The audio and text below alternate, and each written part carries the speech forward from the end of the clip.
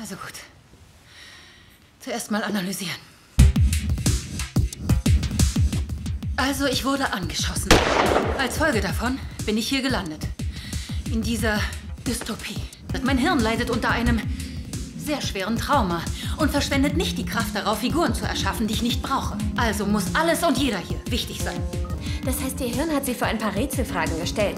Deren Beantwortung könnte... Der beste und schnellste Weg zu meiner Gesundung sein. Wie Sie alle wissen, erwarten wir einen neuen Detective Inspector. Hey, wir hatten der Nutte einen Polizeiaus... Willkommen an Bord, Inspector. Ich bin nicht nervös. Ich bin nur vorsichtig. Egal.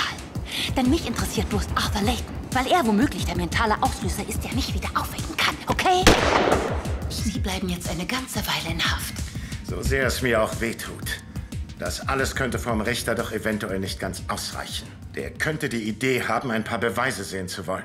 Mein Name ist Alex Drake. Ich bin von einer Kugel getroffen worden und bin im Jahr 1981 erwacht. Ich bin vielleicht eine Sekunde vom Leben entfernt oder eine Sekunde von meinem Tod. Sicher ist nur, dass ich kämpfen muss um mein Leben. Darum, meine Tochter wiederzusehen. Darum, wieder nach Hause zu kommen.